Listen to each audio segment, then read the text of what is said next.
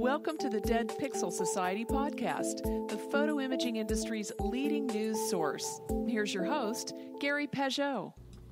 The Dead Pixel Society podcast is brought to you by MediaClip, Photo Finale, and Advertech Printing. Hello again, and welcome to the Dead Pixel Society podcast. I'm your host, Gary Pageau. And today we're joined by photographer, author, and educator Erin Manning of Erin Manning Media. Hello, Erin. How are you today? Hey, Gary. I'm doing great. Thanks for having me on. So, for most people who have ever listened to this podcast, they've heard your voice before because you actually have done the introduction and the and the extraduction or outro or whatever we call it for the podcast for many years. Tell us a little bit about how you got into this business of being an entertainer and a photographer. Yes, multi talented because I was constantly trying to make a buck and maintain being independent. You so, go. you know, you just have to utilize what you have. And I've always been curious about exploring various areas of, you know, creativity. So I just kind of mm-hmm. put it out there. But yes, I am the voice of the Dead Pixel Society podcast. And thank you for allowing me to be that. There and you do that so well. Well, let's roll back to young Erin Manning wanting to break into show business. How did that happen? well, that was, you know, kind of a, a pipe dream back then. I'm from the Midwest, so I grew up in a little town and then a little bit bigger town in Iowa. There wasn't a mm-hmm. whole lot of showbiz there, but I really was just, you know, from the beginning, this artistic, enterprising kind of little kid. I used to make potholders and sell them door to door when I was like 5 And mm-hmm. then it was love bead necklaces at school or wooden rings I made in wood shop or even clothing I used to create on my mm-hmm. mom's Singer sewing machine. So I was always really creative. When I, I moved to California and I was working various jobs to make a living, whether it was waitressing or sales, just kind of floundering in my early 30s, searching for meaning and purpose. And I decided to take this kind of career personality test. It totally validated what what I knew all along was that I'm an artistic, enterprising person. I just had to figure out how I was going to make money and and you know in my mind stay independent. I eventually found photography and teaching and I guess you could say the rest is history, but there was, you know, it's definitely a long path to that and there's a background to that too. I'm I'm the daughter of two artists who Okay. eventually became college professors. So I was surrounded with creativity and kind of the teaching way of being. I guess it's in my DNA. And I'm also a big sister. So I'm used to leading the way and teaching and trying to inspire. And cracking the whip when necessary. Yes. Trying to inspire my little sister to clean the room, whatever it is. I'm just, I feel like I'm a lifelong learner. So I know what it's like. But also, you've also got the explainer piece of it. And that's really where we first crossed paths many years ago was when you were doing some, well, you're your own TV show. Can you talk a little bit about that? Ah, yes, the whole picture on the DIY network. It was way back in like 2004, and they were casting for a host, and they needed someone that was a photographer, professional photographer, a little bit techie, and that also was good in front of the camera. And apparently, they were having a difficult time doing that, finding that person. And I had an agent at the time that um, sent in my my demo reel and they called me and said, Hey, we really like you, but could you maybe do another demo reel for us over the weekend that looks kind of like what the show would be like? I'm like, sure. So um, I worked with that on with Michael Welch and we created a cool video, sent it into them, and I got the show. Ta-da!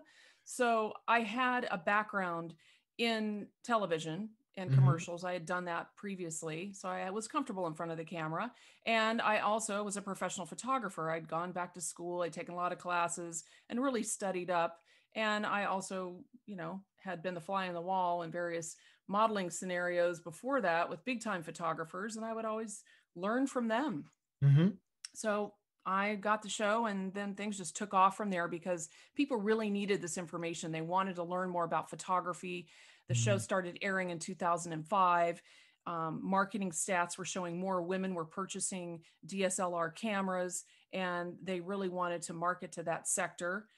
So there I was with this 30 minute show on the DIY network, and I showed people how to take better photographs.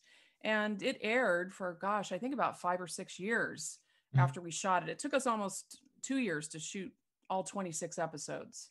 Okay and it won a bunch of telly awards and it was all groovy and then um, diy network decided to end all the shows that had nothing to do with food or shelter so it was wow. me and i don't know I don't probably 20 other shows that all um, ended after a certain number of episodes just because that that was the pivot that the diy network took.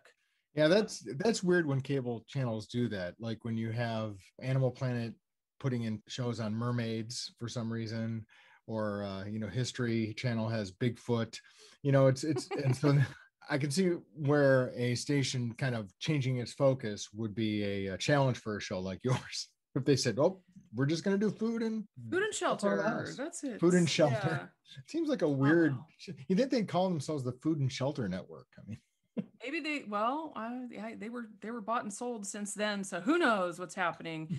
But what it did is it, it helped me with visibility. Sure. And then I was on the map as far as being able to get out there and be a personality and teach people. And that's sure. also when I met you back hmm. then um, with the PMA, and and that was all the Photo Marketing Association. For those of you that don't know, mm-hmm. and um, Gary, you were really instrumental in helping our show find a lot of product. So of course, after we taped the show, I went down and met you at the Photo Marketing Association at one of the conferences in mm-hmm. Florida. Mm-hmm and i also met a lot of other people then and things really took off because there were you know a lot of people involved in the show and i ended mm-hmm. up later after more marketing on my part being sponsored mm-hmm. by canon adobe sandisk yep. um, i ended up getting my own lighting photo lighting line with fj westcott where i provided the education and they put my picture on the box and yeah. you know that was really cool mm-hmm. so there were a lot of great things that came out of that and then you know i'm still teaching on the cruise ship too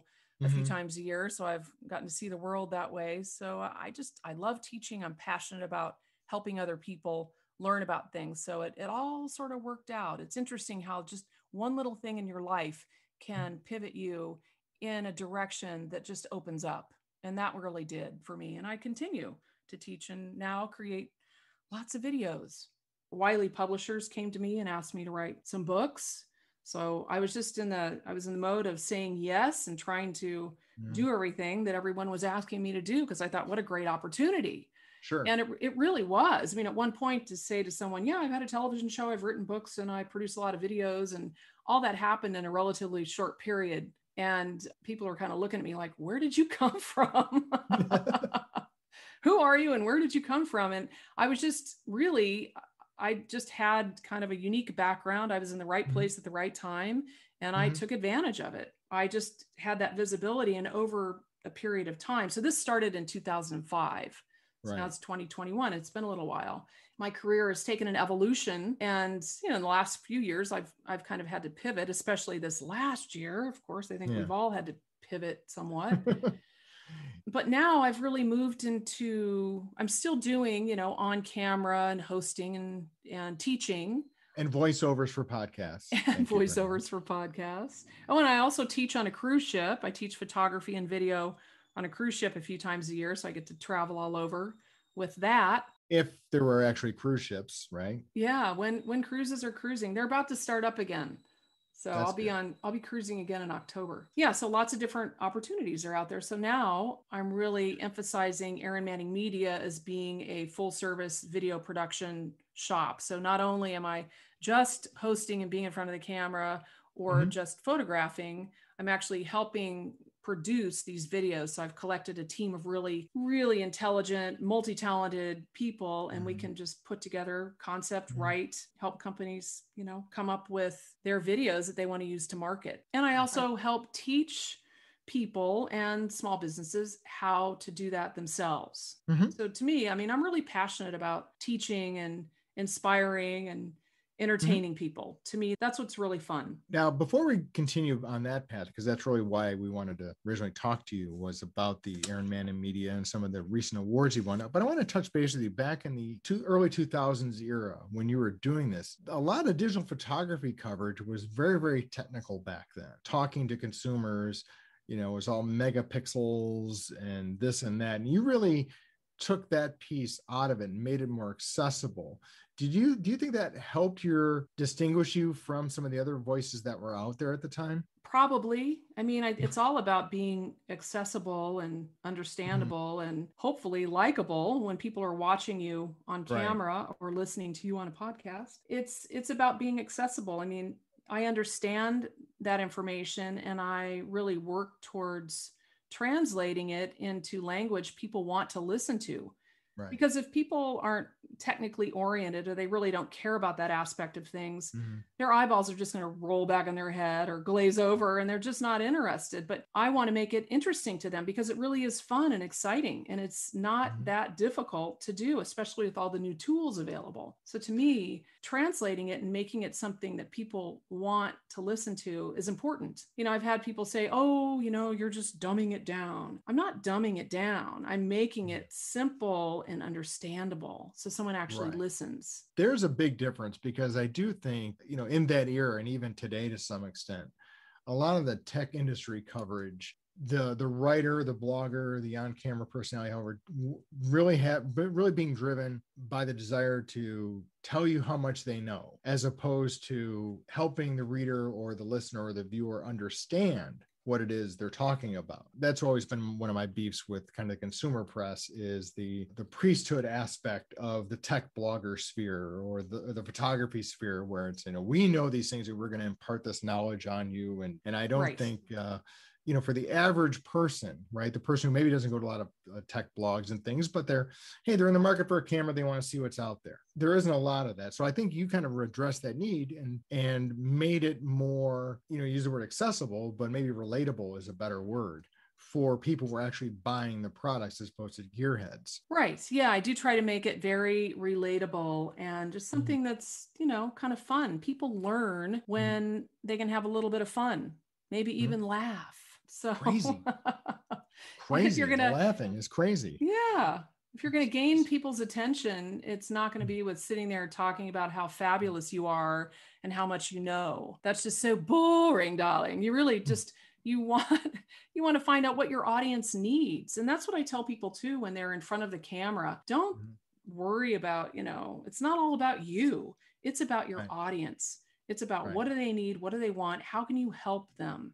Well, one of the things I've seen you do in, in, in the real world is when you talk to, let's say, a retailer or a photo lab or something about doing video to help their business, because it is the a growing area for retailers to small retailers. I'm talking about to do how to demos, just regular everyday videos for their Facebook pages, Instagram, whatnot. What advice do you have for those folks who may not feel like they are television personalities, right? There's certain people who are just comfortable in front of a camera. They look great, they sound great, they don't need 17 retakes. And then there's everyone else who's like me.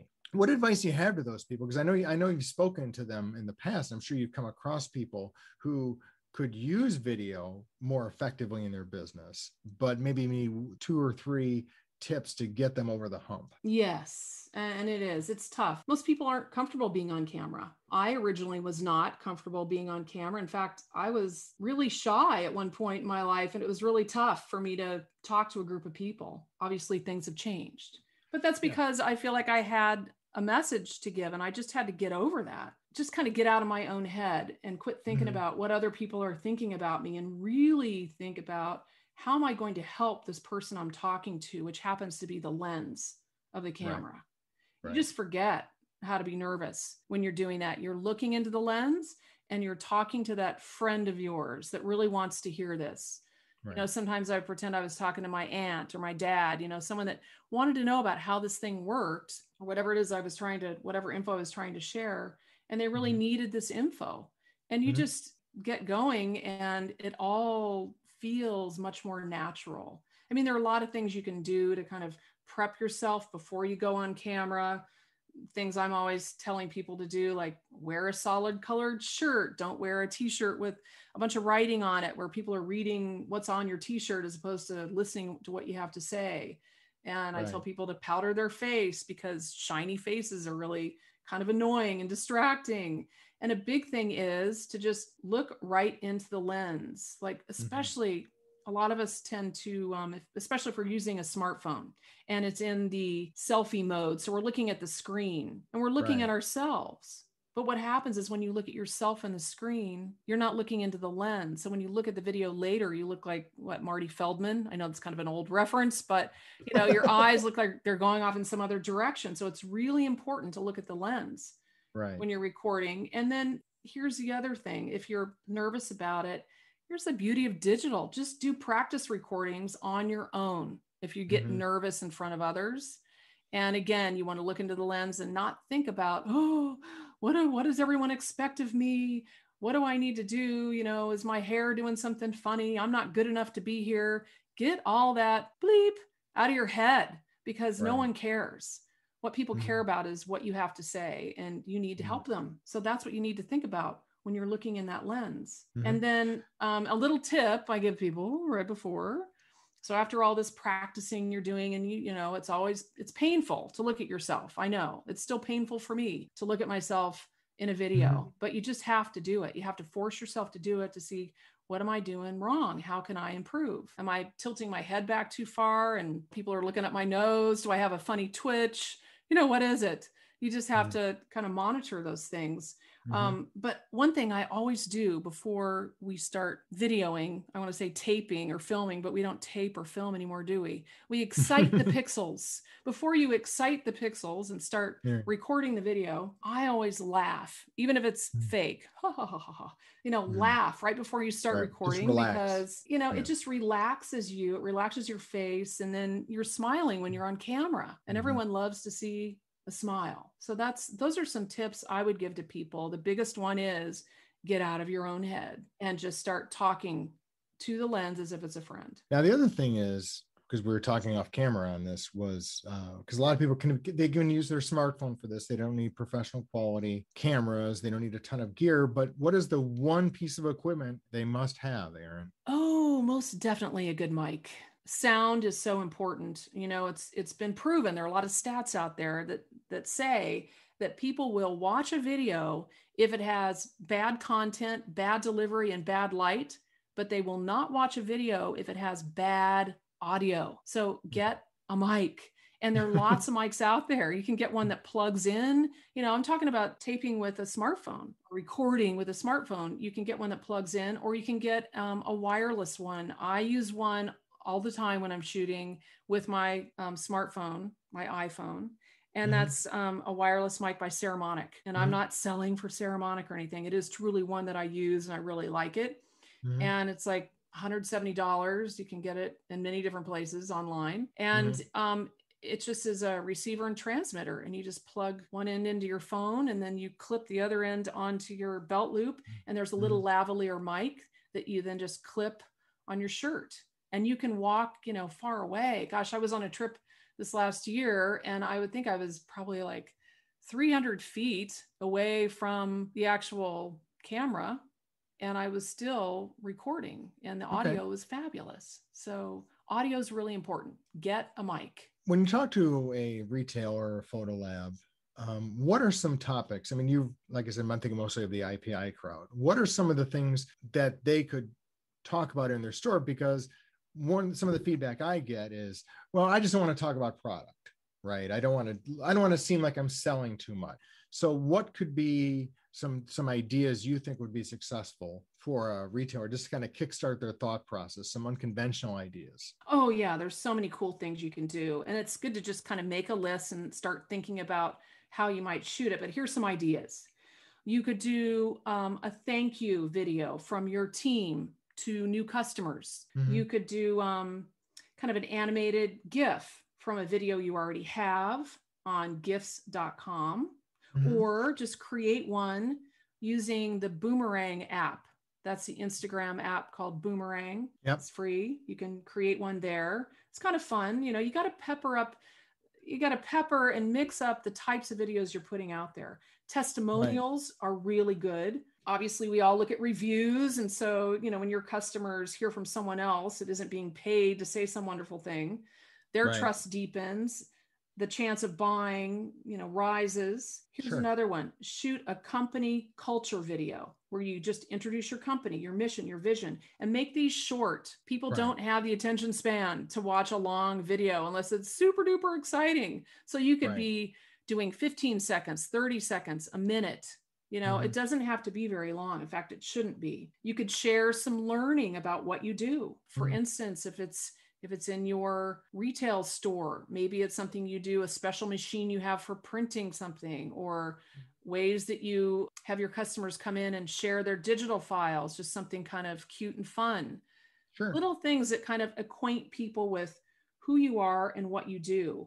And, mm-hmm. you know, a lot of companies create these lifestyle videos that might show what it's like for customers to use your product. So those are just a few ideas, but um, okay. so it doesn't necessarily have to be the owner or operator. They can involve more people on either on their team or customers or part of their community. Because I think that's an important point.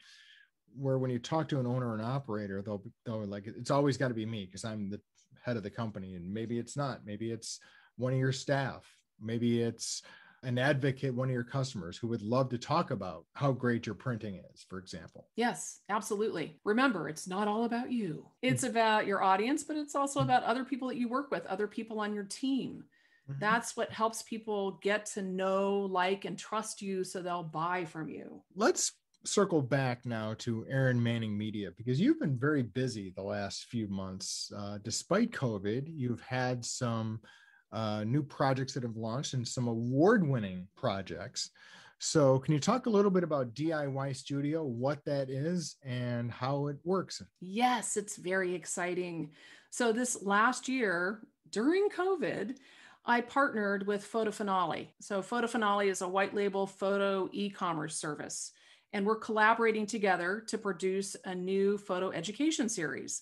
And at this point, it's not even all that new because it's been online. Oh, I guess when did we start? Last um, May. It was online as of last May. So Almost basically, um, I produce a video a month and Erin Manning Media, you know, and we collaborate with Photo Finale to concept it. And then we write it, shoot it, direct it, edit it, and we put together the full video and a series of um, social media videos. So mm-hmm. a vertical, horizontal, a square, essentially what this does is the dealers that are running Photo Finale's website platform for photo product ordering, they can add these DIY studio videos to their sites also. The consumer gets photo education and then their product tie-ins to drive sales for the dealers. Hmm. Yeah. So what are some of the typical topics you've seen on some of these, especially, you know, in COVID, that must have been a challenge to get people because you're not the only person in these videos. oh yes, that was a challenge. Yeah, on some of the videos, uh, my mom is in them. So, you know, my, my hmm. mom has been helpful in that regard but yeah i would just have to reach out to my you know my friends i have a friend who's a casting director and mm. she found me my the first talent that i used on the graduation video who was a lovely mm. gal that lived close by and you know we just all wore masks except when we were shooting and far away from each other so mm-hmm. it was always a challenge and if you as you watch all the videos you'll notice hey they're all kind of outside well we had to shoot outside because that was the safest thing to do and i you know i went onto a casting site and i have an account there and i would just start to to cast mm-hmm. people for the other videos and we found some wonderful people i mean right. uh, they're all friends now i mean because mm-hmm. we really went through so much to to put these videos together and we just mm-hmm. ended up picking some great people so yeah it was a challenge to shoot during covid for sure and a little mm-hmm. scary but we did it and it didn't come um, across in the videos. I mean, it looked like normal everyday stuff. So kudos to you. So, you know, you did a graduation video, you did a pet video. What were some of the other ones? Oh, holiday cards, um, also how to how to have a better zoom call you know better mm-hmm. video recordings a lot of that was look into the lens and light it right and you know mm-hmm. use decent audio um, right. we had that we had one on flowers we had one on couples we just did one on um, photographing kids. Mm-hmm. And we're working on one right now for collage wall, which is kind of cool template Mhm. that helps you hang photos on the wall. Yeah. So they're, you know, they're all sorts of, we try to kind of hit everything, every kind of topic. And we're Mhm. always open to new topics too. So if Mhm. people want to Mhm. Send me an email and tell me about an idea you might have, and we might do that next. Well, what I find interesting in part on this is not only partner with Photo Finale clearly has an output agenda, right? You know, they want people to output products through their retailers, right? And probably for full disclosure, we should say that, you know, Photo Finale is a sponsor of the Dead Pixel Society and we dearly love and appreciate them. Yes. But not all your topics are output related, right? I mean, they're just general enjoy photography stuff. It's not just here's how to make a collage wall. Oh, yeah, totally correct. Yeah, we've got a video on composition, another about lighting. It's really about the value add. It's about Mhm. going somewhere and being able to gain more information and feel inspired to just take more photographs. And it doesn't necessarily mean you're going to use those for output. That's really what the series is about, about Mhm. helping people, you know, educating them on taking better photographs. The response from the retailers has been very, very positive on these, from what I understand. Yes, it has been very positive. And in fact, it's been very positive from another aspect too, which was a Telly Award. Da, da, da, da. Yeah, so I was going to ask you about that. So, what is a Telly Award, and why is it significant for this project? And why do we care? what is it well, there- there's that. I mean, there are awards you care about, and there are other awards you don't care about. So, why do we care about the Telly Awards? Well, first off, we won a silver Telly for the DIY Studio series. And the Tellys have been around since, I think, since 1979. And basically, it's an industry group that awards and honors video um, and TV content across Okay. all screens. So you might have Okay. judges in there from Warner Media, NBC, Vimeo, etc.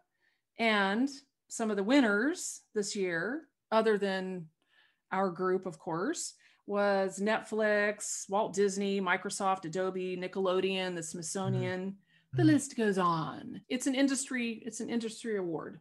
So, what? So, what category were you competing in? Well, there were many categories, um, and you get to choose those as you enter. And Mhm. sometimes, if you choose one category, they may put you in another. that doesn't seem right. That doesn't seem right, does it? I know, no, but we um ours is really about education and that's what I chose. So it's it was more about education. It was a series, Mhm. education and discovery is what it's Okay. what it's in. So It would be we kind of happy. disconcerting if you were like moved into the horror category. or hopefully like, oh. not. So this is not your first telly though. You've won others. I have won others, yes. In fact, the last telly um, that I won was for other photo education, and that was back in 2010. So it's Mhm. been 11 years since I've I've felt that you know I've done anything that I really wanted to enter into the Telly Awards. So it's like Mhm. I've I've had a renewed inspiration for putting more photo education out there, and there are Mhm. different ways to do it now. It's like we're shooting with tools that I might not have used 10 years ago. We're shooting with, on these particular videos, we use a DSLR, which is not unusual, but we're also using a GoPro and iPhones is how Mhm. we're shooting this. So we put all these, all of that together and then edit a fantastic video. And people can't tell the difference, I'm sure. No, no. Which like is can- amazing. Like like you said, I mean, you can get video off an iPhone that on most people's screens, they won't be able to see that it's been shot on an iPhone. And then right next to it, you'll segue to a shot from a DSLR, and most people won't be able to tell the difference. That's right. So you can really get a lot out of your smartphones. And that's Mhm. really what I recommend if you're just getting started with this and maybe you don't have a budget for anything is just Mhm. use your smartphone and get a, a mic, preferably Mhm. a wireless mic, but you know, you can get wired mics also for like $20 Right. and know about light. So you may want to Mhm. make sure that you're in nice lighting. If you're using natural light, you know, make sure you're in open shade or near a window or something where you get nice, Right. soft, even diffused light. Or, you know, bring a light. Some of a lot of people listening to this podcast may already know about light, but some of you that don't, you know, Mhm. just make sure you're not positioned in a in a way where you've got light coming from behind you Right. and that you don't have any sharp contrasting shadows on people's faces. So that's Reflectors are your friend. reflectors and diffusers are your friend. Yes, Mhm. definitely. So those are some important things. And also, you know, a little um, tripod with a clamp Mhm. that holds your phone. I like to sometimes use a remote shutter too. And Mhm. sometimes those come with the tripods now. They're pretty inexpensive. Right. And you can just set things up on your own and get started. Or if you have someone that can help, maybe get a gimbal Mhm. and put the phone in that. DJI has some cool gimbals, but there are other gimbals out there, and it'll Mhm. make your shots look a lot smoother and not kind of herky jerky. I also use the selfie stick too. Um, I might have a, just a plain old selfie stick, and I put in my wireless mic, and I just walk and talk, looking into the iPhone camera Because you always look into the camera lens. because you always look into the camera, look into the lens. That's right. This isn't just you. I mean, you've got a team of people that are either freelancers or contractors you work with. So you can tell me a little bit about your team. my team is pretty fantastic and um, we can add and subtract and add you know add in more people as needed but the core team is michael welch who i've known since 2004 in fact he's the one that created the video that allowed me to get the job hosting the whole picture. So that sort of kickstarted everything. He's can do everything. He can concept write direct Mm. edit. And a lot of times that's where the story you know comes out is in the edit. So he's been great rick nyberg i've known since i was 19 a few short Mhm. years ago and he's Mhm. won many awards and he's been a cinematographer for a long time a new guy i started shooting with but he's also friends with mike is todd helene and he's a pretty well-known director of photography Mhm. so it's basically those three guys. And on occasion, we might bring in someone else to help, but we just, you know, we're kind of a skeleton crew right now and we get it done. Well, that is kind of the the trend though these days is you can compete with tools that you know not went back when we, we met in the mid 2000s weren't available right? If you wanted to do this level of, of broadcast level tv you you you didn't have a lot available to you at a reasonable price point. That could also make phone calls That's right. and by the way, here's another tip when you're shooting video with your smartphone, turn on airplane mode so you're not getting a phone call in the mid- middle of the recording. or a text perhaps yes so what's next for the diy studio team as you as things start to open up hopefully california will join the rest of the united states and going outside and and all oh that no, we already are. We're we're out and about. We're doing things here. Nice so what projects or ambitions i should say do you have going forward really just to continue to create really fun, interesting educational videos. So we're always Mhm. just coming up with new topics, and that part's kind of fun. We're just going to keep creating, is what Mhm. we're going to do. Awesome. So, where can someone go for more information on either DIY Studio or Erin Manning Media? Well, you can go to my website, erinmanning.com, and find out a lot of things. Um, Photo Finale is the white label company that Mhm. hosts all these videos, but a lot of people, you know, the consumer wouldn't know who they are. They're someone that's known in the industry. So that's something you could check out is photofinale.com and find out more about what they do Mhm. pertaining to your business. And I think they've got links there to the DIY Studio content. So, if you want to see the videos, that's a good place. Right. And then there are a lot of dealers that are hosting the videos too. You just have to Mhm. go in and open up a free account so that you can see all the full length videos. We've got all Mhm. the social media videos everywhere, 15 second teasers that lead Mhm. up to the full length videos, which are anywhere from like four to six minutes long. Pretty long for a teaser. Well, no, the teaser is 15 seconds, but the Oh, actual okay. video, yeah, that would be long for a teaser. The teaser is Yeah. 15 seconds, um, but the videos are anywhere from four to six minutes long. Okay. and they you know they're pretty action packed so even you know these days four to six minutes might seem kind of long most videos are like two to three minutes Right. so much information to share we just pack it all in in a way that keeps you keeps you watching And we'll be watching in the in the future as you grow Erin Manning Media. So thank- well thank you i hope so Well, thank you, Erin, for your time and uh, wishing you the best in 2021. And hopefully, we'll see you later in the year. Thank you, Gary. Thank you for listening to the Dead Pixel Society podcast. Read more great stories and sign up for the newsletter at www.thedeadpixelssociety.com.